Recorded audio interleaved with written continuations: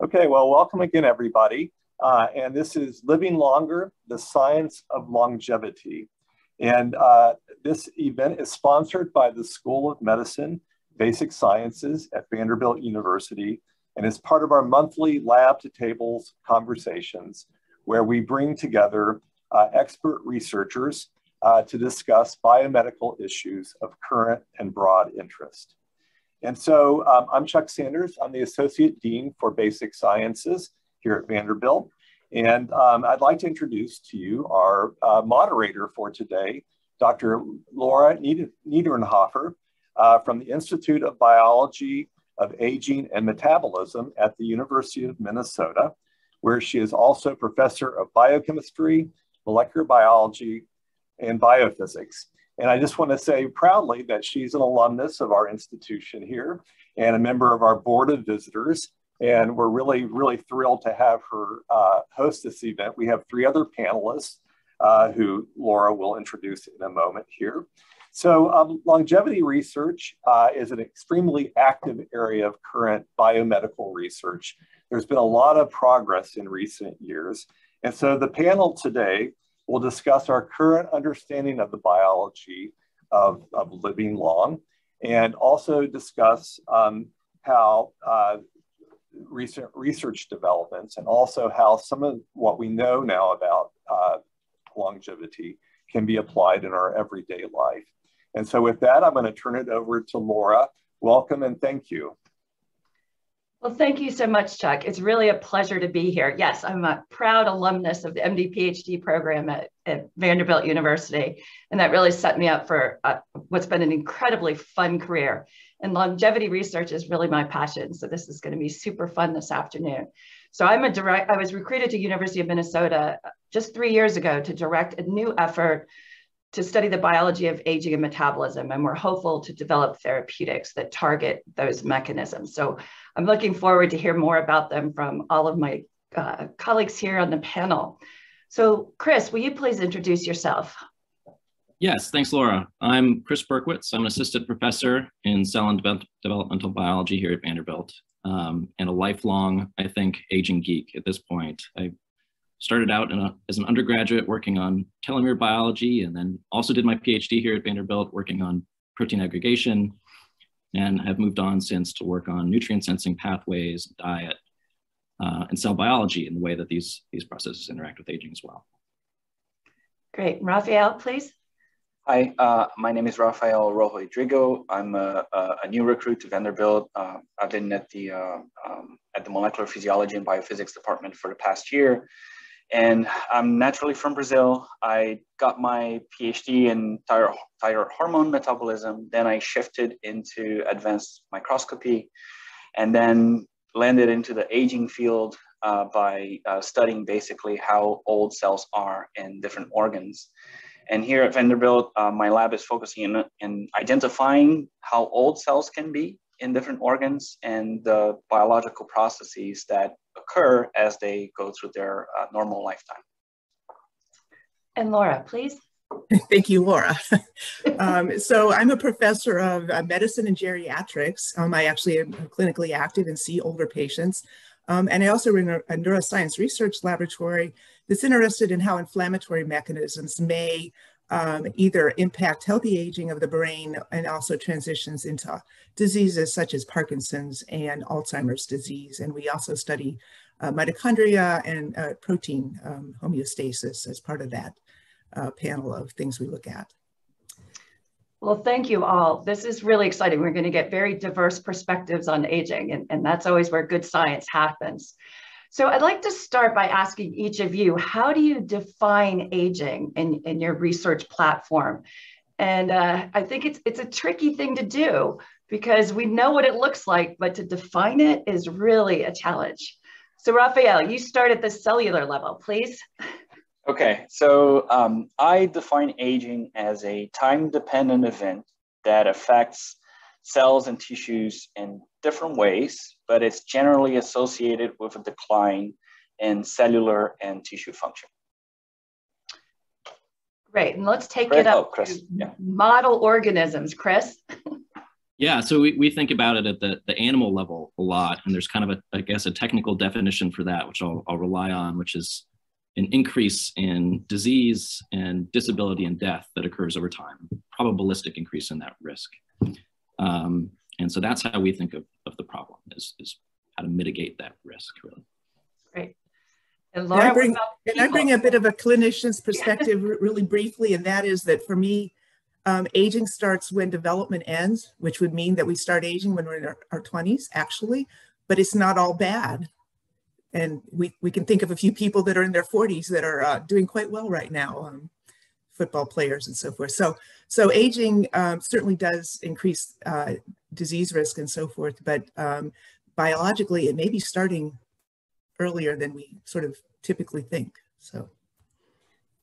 Yeah. So, Laura, as a clinician, why is aging research so important as opposed to thinking about all these diseases that we fear, like right. Alzheimer's or cancer? Right. So, so a lot of the things we define as diseases, which of course cancer is, is one that is dreaded, but also we've made incredible impact in treatments, are circumscribed events. But for most of them, other than things that happen in childhood, aging is probably the greatest risk factor, certainly for diseases of the brain. Um, you know, Alzheimer's, Parkinson's disease, strokes, and so forth they are very different uh, injury processes or diseases, but aging, that fundamental process uh, contributes to all of them. And so we, we think about it, I think all of my colleagues too, as that's some place that we can make a, a big difference, a big intervention that would affect a lot of different disease processes. So um, that's why we're talking today, in fact. So, yeah, it, it's an exciting prospect for sure. So, Kris, is one who uses a model organism in your research to sort of accelerate um, all of this. Do you think there's a universality to to biology of aging? Like, how do your worms relate to what we're trying to do in humans? Yeah, so I, I always hesitate a little bit to say universal because with so many species, there's always an exception and and I can touch on that in a second. But I, you know, there's an incredible range um, in in lifespan across the animal kingdom, ranging from typically small things like insects that live for a few days um, to marine life, these whale and shark species and quahogs that live for 200 plus years. And I think this is what's really cool, this kind of comparative biology look at what's going around us, going on around us about the aging process, which is that it's not a fixed rate at which it occurs. The biological aging process varies really very widely. Um, and this was a major clue for a long time that, that biological aging, not chronological aging, but biological aging is modifiable and, and there's different ways um, in which we can age.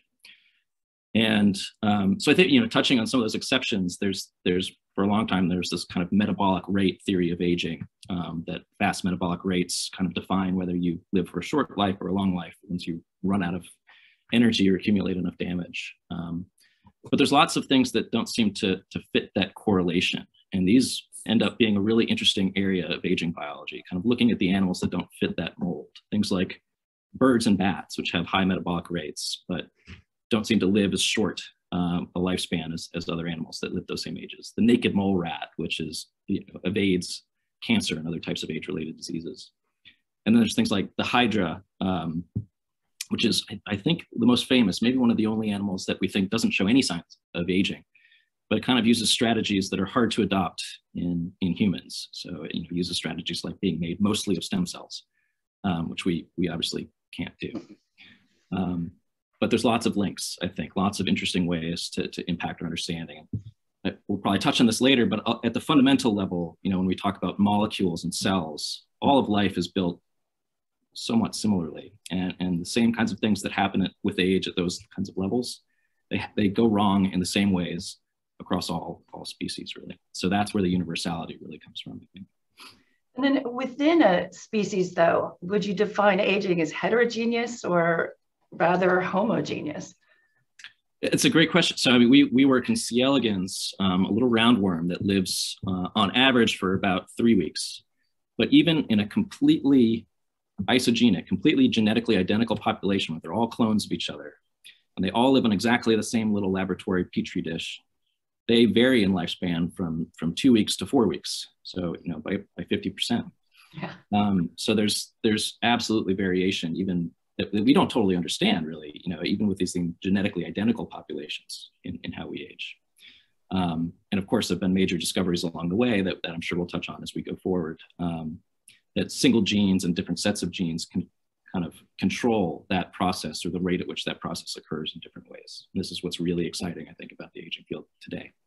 Yeah, and, and, if, if, if I may chip in, I mean, basically, I, I, I think that we also don't know if, like, you know, speaking to how homogeneous aging is, we just don't know how fast individual organs are aging. And, and, and that goes from the worm all the way over to, to, to, to, to humans, right? I mean, I think that we, when we think about when I think about aging, I think I think about it as a very heterogeneous um, process, and I think it all the way you know down to individual tissues, to cells, and then even parts of the cell that might be going through aging or through time at different rates. And I think that we're just starting to understand that, and and and I think that that's that's a very exciting part. I agree. And then when you realize that each of us is made up of over a trillion cells, and you think that's all going to kind of change synchronously, it's, it's just impossible. So, Rafael, describe your background for us and tell us what it's revealing about the hallmarks of aging. Right. So, okay. So, so my my laboratory was basically founded in the prince in in the basic discovery that um, there are you know neurons or generally accepted as large are cells that are born with us and then they will live as long as we do. So and they have very little if any regeneration potential. So basically that's why uh, brain injuries or degenerative diseases of the brain are so bad because we can't grow new neurons and, and these cells are pretty much stuck in place with you know with the material that they that they were generally born with. Um, but then in the past couple of years, we discovered that uh, throughout the body and mainly outside the brain, there are cells that can be as old as neurons.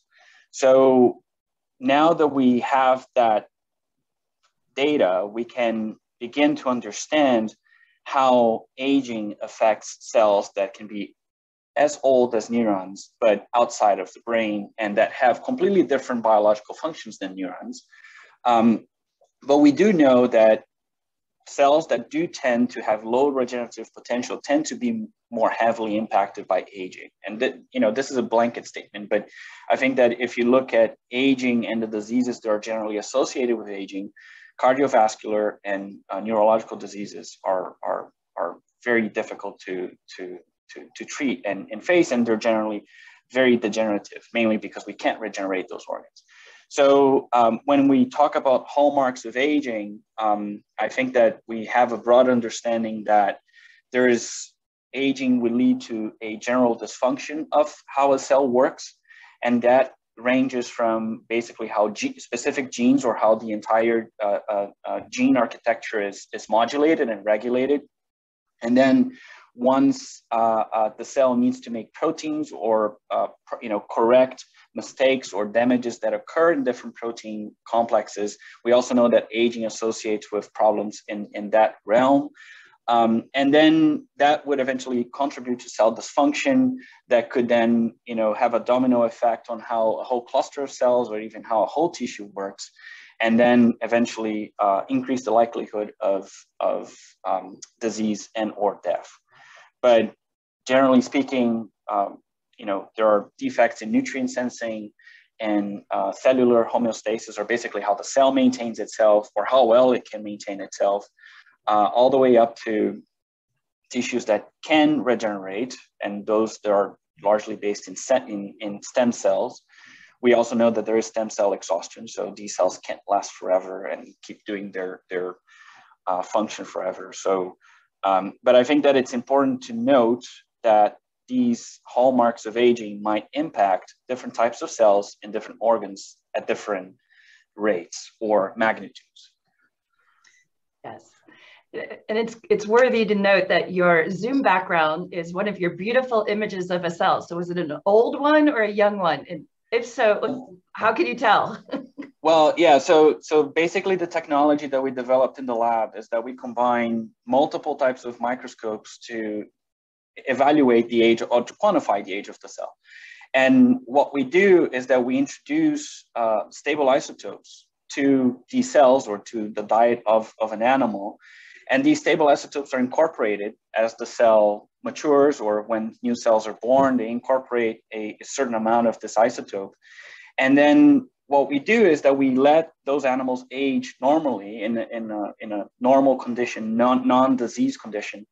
And at the very end, we're able to take pictures of the same cell. And in this case, here in the background, I have a, a acinar cell in the pancreas. These are, these are the cells that make amylase, which helps digest nutrients in, in, in, in our body. And basically we can aim a microscope at this cell and basically quantify how much isotopes there are left in the DNA of the cell. And the amount of isotope that is left after a certain period of time is proportional to how many times that cell divided or how long that cell has lived. So basically we found that there are certain cells in different organs that retain the same amount of isotope as neurons of the brain. So by definition, those cells were born roughly at the same time and they have roughly the same biological age. That's really groundbreaking. It, it's impossible to do in humans. So this is really cool that you can track it in animals.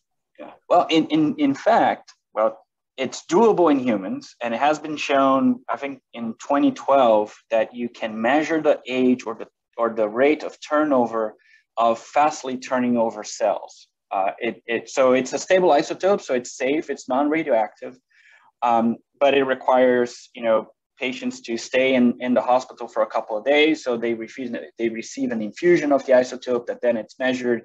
You isolate, uh, in this case, it was uh, uh, um, uh, immune cells that were then isolated and then shot with the microscope. It's doable, but I think that it, when we talk about cells that live several decades long, it's not doable to do it in humans. So then that's when the model organisms become very um, advantageous for, for our research.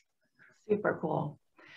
So Laura, the, the hallmarks of aging that Rafael um, was describing, they relate back to the geroscience hypothesis. So could you define that for us and, and then tell it, distinguish that from geriatric research, gerontology, and geroscience. Right. So uh, uh, I'll make a stab at that. So, so geriatric medicine, I'll start with that because that's basically a subspecialty of medicine and, you know, like cardiology or endocrinology.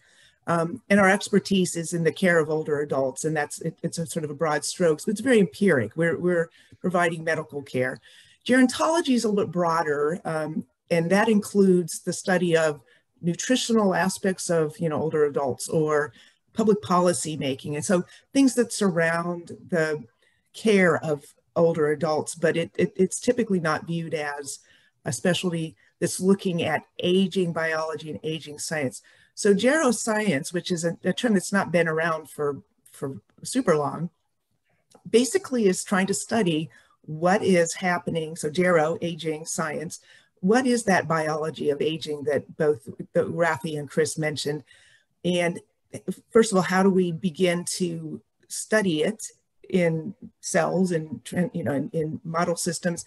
And then how do we think eventually, because we, I think most of us care about ourselves or Homo sapiens, how do we how do we translate the information from geroscience into something that um, helps us escape age-related diseases? So I view it as basically the biology of of aging across species so that we can get insights into those fundamental processes. And I don't know if Kris and Rafi want to put their spin on the uh, definition. I, I think you, you hit it with, you know, try, trying to, rather than studying aging as a disease, it's the idea of studying aging as the root of many diseases that occur late in life. And, and so can we can we target the root process and provide a, a, broad spectrum of defense against many diseases with potentially even just a single simple intervention, yeah. as simple as we can get. Yeah, I, I, I, totally agree. And, and I think that I, I, I believe that one potential way of, of addressing aging is once we under, better understand what is generally associated with aging in, you know, in, in specific tissues, I think that then we can devise ways to prevent certain hallmarks of aging from even arising. And then I think that that's where, uh, um, you know, uh, more targeted interventions might actually help preventing the onset. And because it, it, might be it might be even more difficult to you know be to treat the, the, the a symptom of aging than to just delaying it or maybe even preventing it from ever happening. And chris i want to turn to you because i think some really elegant genetic studies in your favorite model organism really laid the groundwork for this. So can you give us that background and what we've learned from uh, your favorite model? Yeah, so it's it's the one I use the most. Um, okay. I, I, don't. If if if it were a perfect world and we had all the resources and funding that we could ask for, we would want to be working on many different models because I think they all have their own utility, um, and they all have their own weaknesses, mm-hmm. including our, our favorite model. Um, but yeah, with with C. elegans, you know, I guess what I can highlight in general, not even a C. elegans specific view, but these genetic models, um, these small invertebrate genetic models that are rapid agers they really, you know, they serve as engines of innovation and discovery for the field, and they have have done historically. Um, and, and, a good example of that is is you know one of the interventions that's relatively public facing that a lot of people I think know about is is dietary restriction and its effects on um, slowing down the aging process and protecting against these diseases. And you know the first experiments that kind of discovered that if you starve rodents a certain amount that they actually lived longer paradoxically that was 100 years ago and mm-hmm. um, it wasn't until you know the rise of genetics and, and the, the, the rise of these model organisms like um, yeast c elegans and the fruit fly that we really figured out what what are the genes what are the, what are the molecular mediators what's what's what are the mechanisms that actually translate what we eat into this kind of physiological reprogramming that helps us to mm-hmm. age healthier ways um, and you know for for our research we we we like C. elegans for other reasons. Um, we are also big microscopy enthusiasts as we kind of delve into the, the cell biological mechanisms of aging. And um, so what, what C. elegans in particular allows us to do is, is that it's small and it's transparent, so which is actually surprisingly unique. You know, so we can actually look into old animals as they are alive and watch dynamic behaviors of what's going on with simple mo single molecules, single organelles inside of cells and watch their behavior. How do, how, do, how do these dynamics change in young versus old animals? Um, so it's really powerful uh, when it comes to the genetics and microscopy.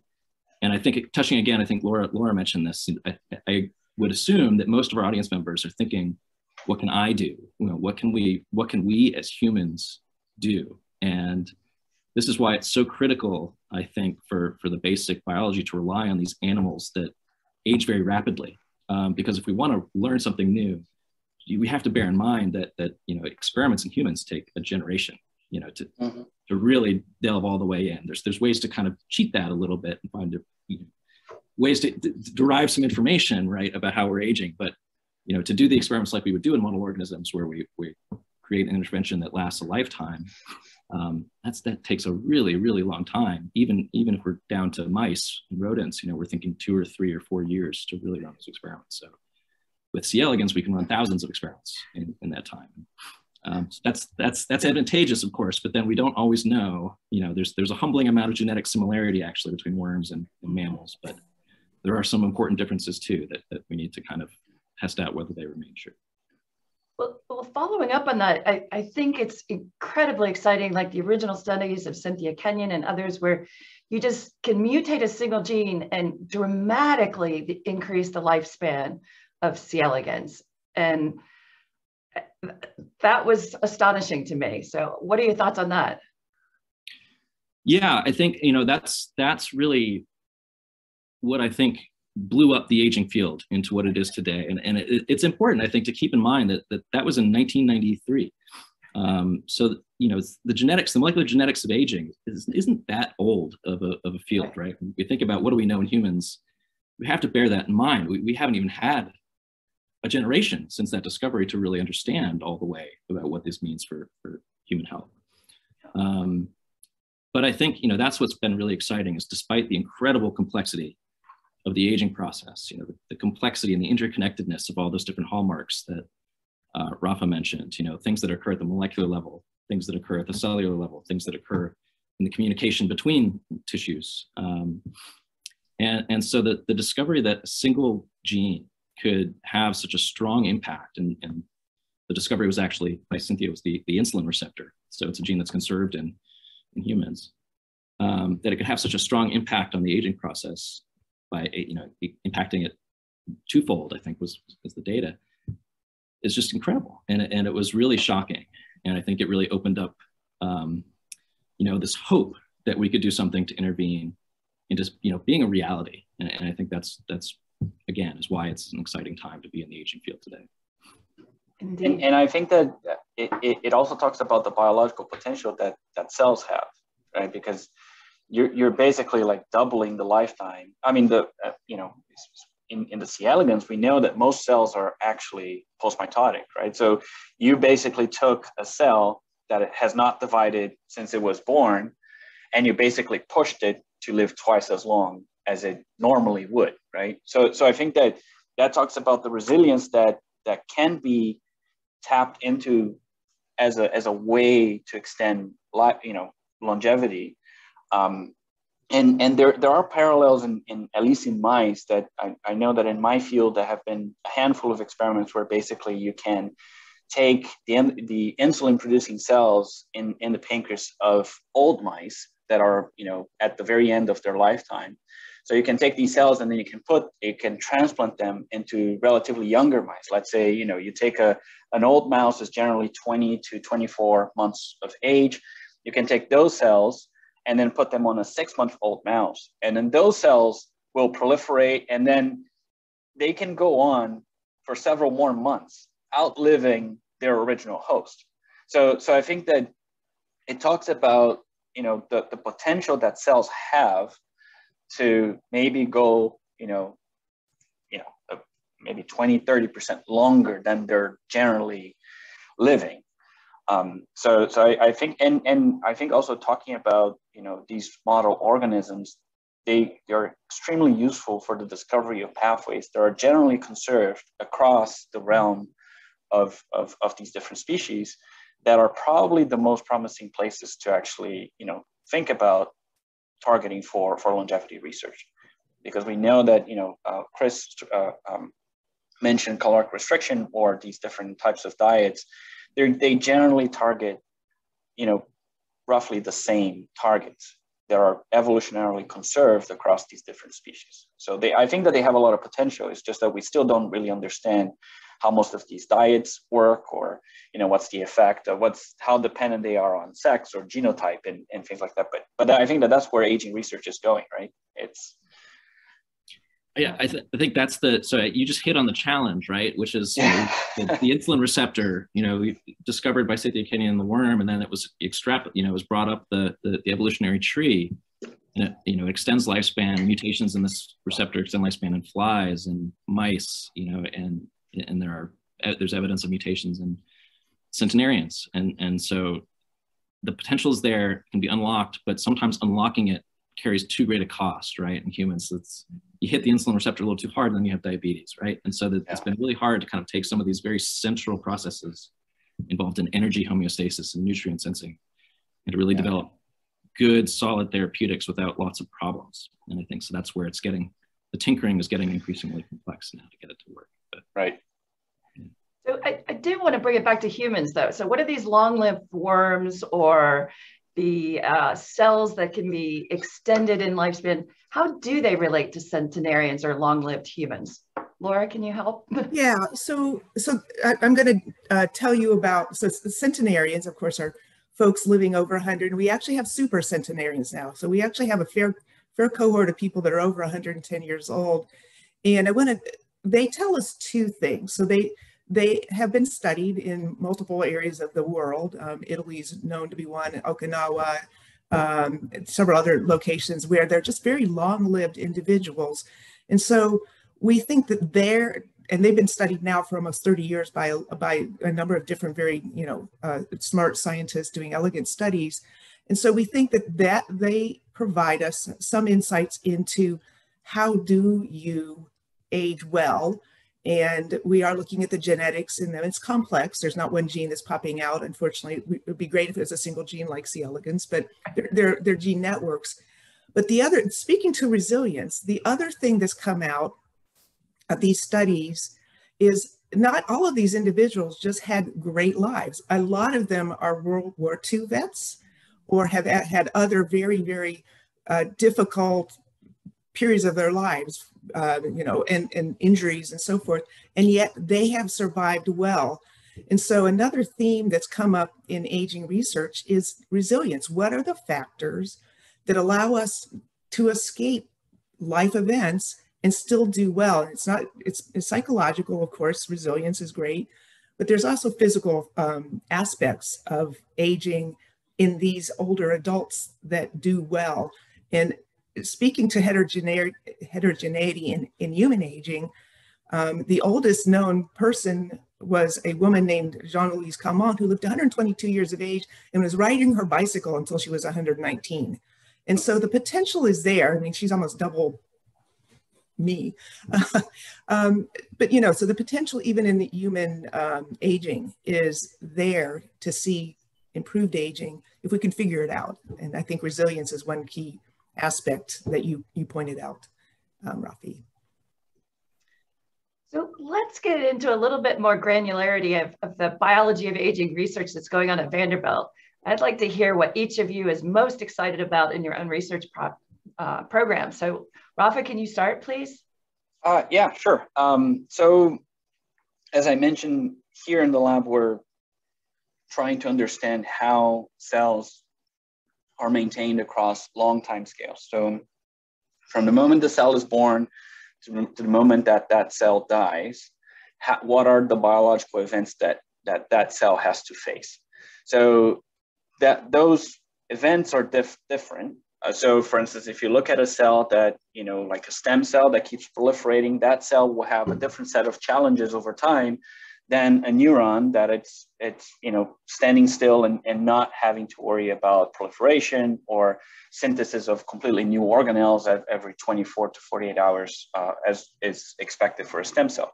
So here in the lab, we're, we're beginning to understand the impact of how dietary interventions actually affect the cell age. And uh, the, the initial data that, that, that we have is that caloric restriction tends to prolong cellular lifetime. So basically, and, and, and so basically the cells tend to be longer lived. And I'm, I'm not, and that we know that caloric restriction in most animal models, but not all, tends to extend uh, the average lifespan of an animal. Um, so now what, what I'm excited about is actually understanding how dietary modulations actually, mo uh, or interventions modulate cellular longevity.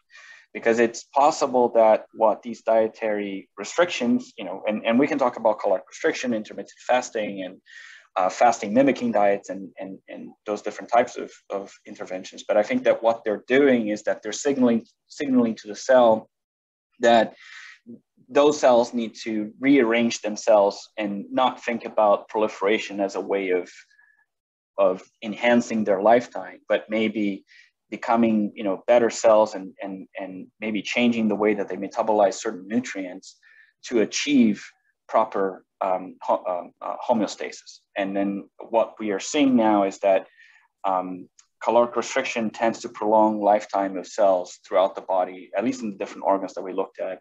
There is some data already in the literature supporting that notion, looking at in, in, in uh, indirect markers of cell proliferation. They all seem to be downregulated with caloric restriction. So, um, but I mean, that's, that's what I'm excited about is actually uh, you know, achievable dietary interventions that um, might actually trigger cells to be, you know, more resilient and, and potentially uh, live longer. So, so in other words, if you're willing to restrict the energy intake, then your cells can focus on what, what little energy they have on maintenance as opposed to just uh, proliferation and, and well, th- that's that's that's one of the current hypotheses I'm working on, I, and I think that you know, from biologically speaking, for a cell to to divide and generate two daughter cells, it's a very very challenging task. I mean, if, if we think about it, like, you know, a cell that engages into proliferation needs to double its, its DNA. It needs to synthesize a whole new cell from scratch. And when you need to make new things from scratch, especially something as large as the DNA and as you know as important as the DNA and, and other organelles, there's a high risk of damage. So or mistakes, mutations might arise, and then things might get out of control that might not necessarily give you the cell that you want at the very end. So so I'm I'm what I'm considering now is that what these dietary interventions might be doing and you know under experimental conditions is that they prevent the cell from actually acquiring more damage that is generally associated with replication. And that, that also coupled with other uh, parameters, you know, including insulin signaling or glucose metabolism in the cell, might actually be driving or stimulating the cell to remain in a quiescent state instead of just proliferating. But it, it, it's incredible to think that each of us can control the quality of our cells just by our diet. It, it's stunning. So, Kris, what are you excited about in your research program?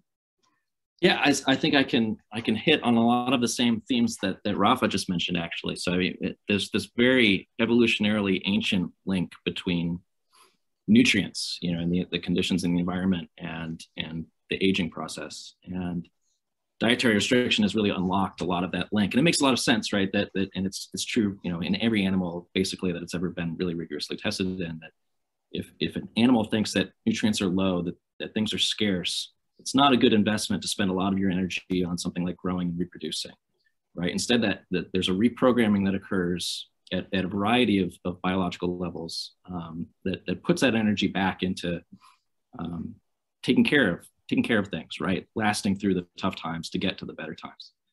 And so it, things like dietary restriction work great, but they, you know, they, it's hard. It's, it's hard to, to tell people to do that. And it's hard to get people to buy into that. And, and then maybe you're obsessed with food. So it's actually not really worth it sometimes. So, so, so we're trying to unlock, uh, you know, the, those reprogramming events and really understand um, what they are so that we can develop small molecules, therapeutics that, that do similar things. And we work kind of one level below um, where yeah. Rafa was talking about uh, at, at, how cells are, are doing that. We, we think about how nutrients impact the subcellular environment. And um, just to make a, a, quick analogy, you know, we, we know, for example, that at the organ level, you know, we have different organs and different parts of our bodies, and um, they're performing their own unique roles for us, and they need to coordinate with each other. You know, so if you go for a run, your muscles are screaming after a short while at other parts of your body that we're out of fuel, please send us some and, and activating metabolic responses. So it's really highly coordinated.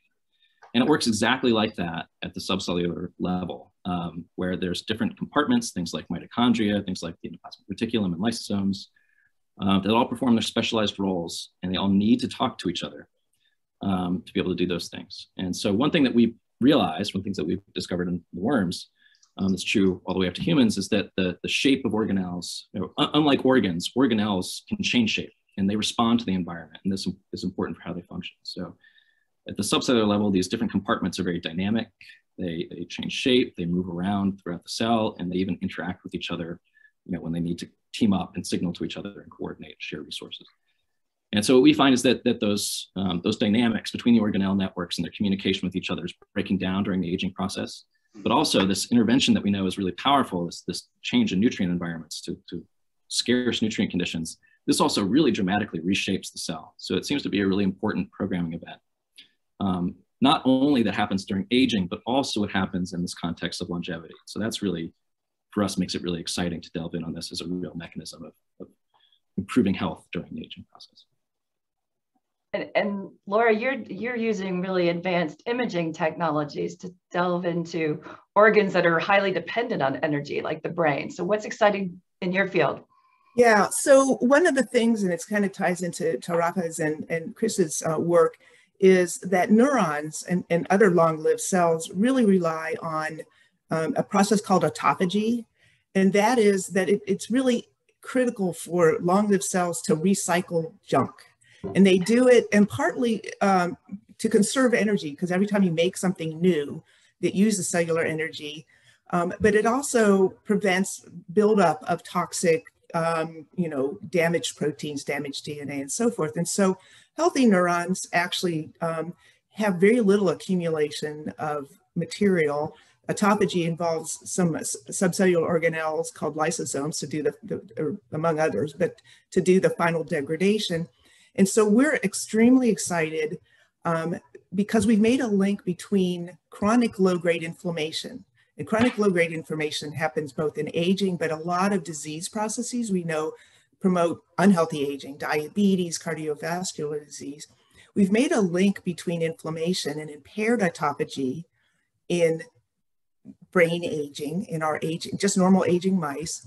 And what has been very exciting is that by doing a long-term anti-inflammatory treatment, we were able to improve autophagy and clearance of proteins. And we think that's important not only to preserve the, the health of neurons directly, but we also have seen accumulation of, of debris, material that wasn't degraded well. The cells kind of, you know, the neurons kind of punted out and kind of tried to get rid of it. Um, and by being a sort of a nidus of inflammation, we think that there's a feed forward cycle where this extruded material is very inflammatory, causes more damage to the brain, more damage to, to neuronal connections. And so this anti-inflammatory intervention actually preserved local neurons near these accumulated debris fields. And so we think that for, because as, as Rafi said, we don't really replace neurons to any great extent, we've got to do everything we can to help assist them in hanging out and staying healthy. And so we think this sort of decrease in inflammation and improved autophagy could have really big implications for um, CNS aging. And so that's where we're excited. And we, we also are developing um, imaging tools to, to try to bring this into seeing this set of processes in humans. So PET, PET imaging is a way you can actually look at molecular events in model organisms, but also um, people. So that's where we're also trying to, to make this translational bridge. That's super exciting. I mean, it, it would be great to be able to peek into a whole organism and see how are they aging, right? That would just be amazing. So we're going to turn to some questions from the audience. Um, and of course, one that, that everybody's interested in is, is there specific advice about a diet um, that might preserve your central nervous system and your cell integrity. So, Laura, do you want to start with that? Yeah, so um, yes, but so um, I think that right dieting more than deep calorie restriction is probably the best way to maintain health. And, and I, uh, Kris alluded a little bit, most people have a, a hard time um, having such a, a, a severe restriction that they're going to get the mouse longevity or the C. elegans longevity. But I think a lot of the studies on calorie restriction in humans compared those of us who eat too much versus a really healthy diet. And so I would suggest that looking into um, keeping a BMI of 21 or 22, however you do that, um, not a lot of red meat, all the things that we say are the way to, to have a healthy diet that, that engages the, the best resilient biology that we have. And it also probably does something to our um, genetics, our epigenetics to, to, to enhance our diet. But um, I'm a little at the extreme. I don't think that I want to do a 40% calorie restriction myself. And I think most people have trouble with that. So. And what about intermittent fasting? Yeah, so that actually actually is is not only something that I think is quite feasible, but if you think about a lot of the religions around the world, it's built into uh, you know a, a, number of religions as part of, of human health, and so I think that the evidence suggests that that might gain a lot of the same benefits as long-term, very severe calorie restriction. I think is much more feasible, and uh, and I, I actually have to say I've done it a few times. I, I felt kind of hungry, but you know well, could you contrast that with compressed eating? Um, I don't know. I mean, I, I have to say that I don't, I don't know so much the nuances of that, although um, a lot of us who are very, very busy do compressed eating anyway. I mean, I, I don't eat breakfast or lunch a lot of times, so I guess that's compressed eating. So. I think the primate studies suggest that that could be equally as good as uh, intermittent fasting or caloric restriction, which would be great because it's it's certainly easier keeps you less uh, grumpy. Yeah. So, Rafa, can you tie any of these dietary things back to telomeres? What's the impact? Oh, that yeah, that's a very good question. Um, well, I I haven't looked at so telomeres. Okay, so just backtrack a bit. Telomeres are basically large protein complex structures uh, that interact with the DNA at the very end of the chromosomes and they maintain the structural integrity of the chromosomes at, at the very end. And there is, um, you know, overwhelming data showing that aging is associated with shortening of telomeres uh, in, in cells. So um, one hypothesis is that by reactivating the enzyme that elongates the telomere, you could potentially delay aging. Uh, but I, I haven't, I'm I don't know enough about how dietary interventions can actually affect telomere health and lead to uh, to cellular dysfunction. Um, um, it, yeah, it, it's I, I I don't think I know enough about that specific topic.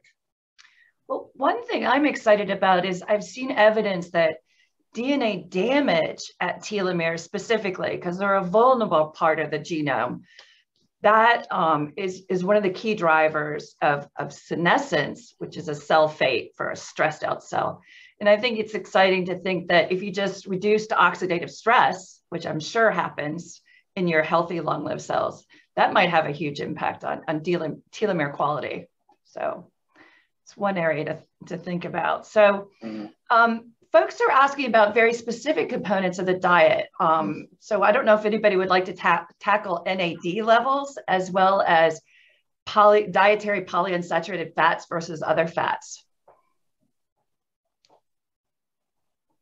Anybody? So, so polyunsaturated fats, I'd have to say um, there's there's very good evidence over the years um, that that those are health promoting and uh, you know, the, the centenarian studies have, have suggested that those those are good. I mean, I, I, don't know that you have to go to the the super extreme where you only will use certain filtered olive oils or whatever, but I think that one is strong. NAD levels, I know that there are a lot of over-the-counter supplements and so forth, and I'm not really sure that the the data is that strong that those make a huge difference because we have an enormous amount of NAD in our right body. Some, you know, it's like a drop in the bucket, but, but I don't know. I mean, I, I have to say, I don't know. So, yeah. I think, and, and, and oh. go ahead, go ahead, Rafa. Oh, no, I, I, I was just basically going to say that uh, I think that for us to really know that these dietary interventions really do work in humans, I mean, we're talking about decades long, you know, studies that need to be, that need to be approached. So, and I think that most of the dietary interventions that, that, that are out there and, and you know, um, are widely known, I think that they all fall sort of under the large umbrella of a caloric restriction, whether you eat as much as you can during a specific time and then you fast for the rest of the day, or you have small meals throughout the day. I think that the and and also, or if you just restrict your your caloric intake from like I don't know, it can go from anywhere like to 10 to 50 percent. Um, I, I think that we are still we still need you know careful studies that look at whether it's if it's the fasting that it's important or and and or if it's actually the amount of calories that you eat. Um, and then also just knowing how much these effects of the diet in humans is affected by our environment our genetic diversity the sex and and and also just how strict you do it. I mean i think that there's evidence also showing that if you do you know a couple days a week of intermittent fasting or of fasting mimicking diets which are usually ketogenic diets like low protein high fat diets that can also help. Um, but i think that most studies are you know have a follow-up time of a couple of years. So and also then the other challenge is how do you know it's working? You know what are the good measurements that you can make on someone that will actually tell you that the biological versus the chronological age is changing. And there are different tools out there that have been uh, uh, coming out in the past couple of years as you know, there's an analysis um, on the um, uh, methylation levels or basically modifications that occur in the DNA of circulating cells that have been shown by different algorithms to correlate with biological age versus chronological age. There's study from my, my previous institution at, at, at the Salk Institute that correlate the transcriptional output of skin fibroblasts. So they, these are basically resident cells in our skin that can also predict biological age. Um, but I think that it's very important that you know that we keep in mind that we're talking about decades-long studies to really know how well these dietary interventions work at the individual level. Yeah. So, and Kris, can you help um, discriminate between studies that are focused on lifespan versus health span and comment on what you think is achievable with human lifespan? Yeah, so I, I, this is a really important distinction, I think, in, in all of aging research and especially how we translate it. Um, so we, you know, health span can include a lot of things, just how, how well are you functioning? And there's so many different ways in which you could measure that. Um, so, you know, sometimes in the lab environment, we measure things like lifespan and C. elegans, for instance, because it's just, it's the best measure in summation of how an animal is aging, right? Um, because it saves us some time almost, right? So, but what is much more important than lifespan, in, in my opinion, and I think in, in many opinions in the field, is health span. Because I, I, the polling kind of shows this, that a lot of people wouldn't want to live longer if they're not healthy, um, if you, you know, they're not able either mentally or physically to live a fulfilling life in those later years. And so sometimes we, you know, we mix these things together in the laboratory to, to get the work done and to learn new things. But in the end, you know, I think our focus and certainly the, the sort of geroscience approach is really to focus on making the years that we have now healthy. And that can maybe be a little disappointing when we think about this, this idea that, that certain people propose that we should be living 200 or 300 years and the people that are able to do that may be alive today. But you know, when you really think about it, we already know that, that we can live, um, as Laura mentioned, to 120 years old. But how many people are actually doing that? So, you know, if, if we can even just make those more people, if we can get more people to those 100, 120 plus year old ages and get them there healthy, you know, I think that's that's step one, and that's a that's a really incredible accomplishment. And, and when, maybe when we get there, we can then think about the societal changes and scientific advances that are going to be required to get to 200 and 300 and farther. Yeah.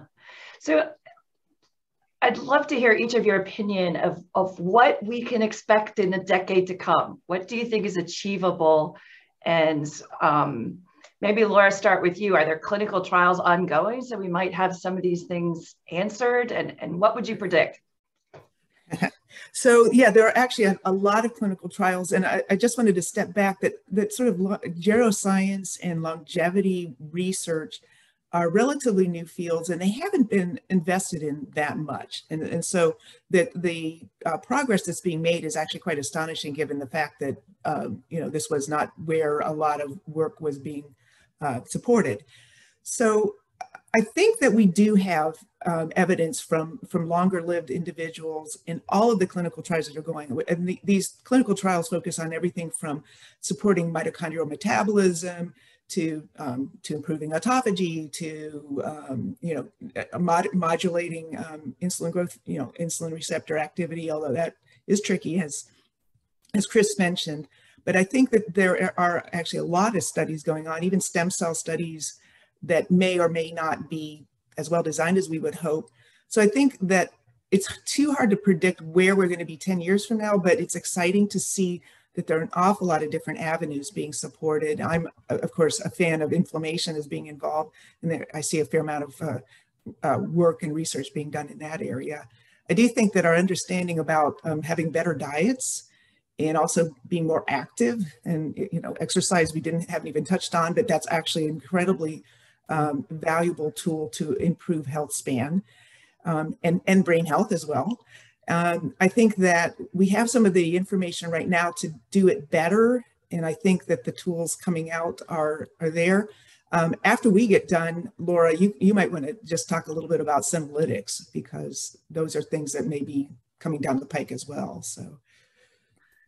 Yeah, senolytics are these, it's the new category of dr drugs that um, really kill off cells that have gone so far down Rafa's path that they're old and damaged and stressed. And so we're, we're developing therapeutics that, that specifically target these cells and can help eliminate them.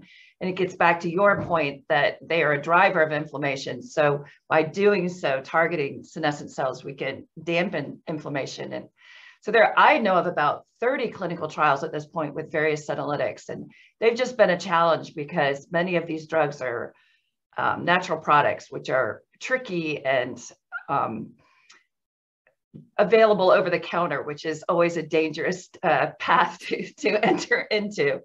Um, so, but does anybody else want to make predictions? Ralph or Kris, what would you see in the near future? Well, I, I, I think that I, I hope that for the next five to 10 years, what we'll have is a better, better understanding of how aging occurs at the individual cell level. You know, dissecting that heterogeneity of aging, even within a single cell population. Um, and then basically, you know, if, if, like for instance, if aging affects neurons the same way that it affects uh, cells in the skin, or if there are, because I think that that would be the one interesting way of actually thinking about, you know, not quote unquote personalized therapies to the cell type that is being affected by aging the most. Or the one that is you know maybe you know like when as laura mentioned like we start aging the moment that we reach adulthood you know like in our 20s or 30s and then i think that if if you know that okay so when you hit 60 the first the first cell to you know really really have a hard time with aging are going to be neurons. And then or it's going to be your skin cells. Mm-hmm. and then you can actually begin to address um, uh, aging in a in a cell type manner or an organ manner. Um, and I think that that's that's what I hope that we'll achieve in the next five to ten years. Well, it's important for developing therapeutics too. So that would that would mm-hmm. be great. Kris, your thoughts?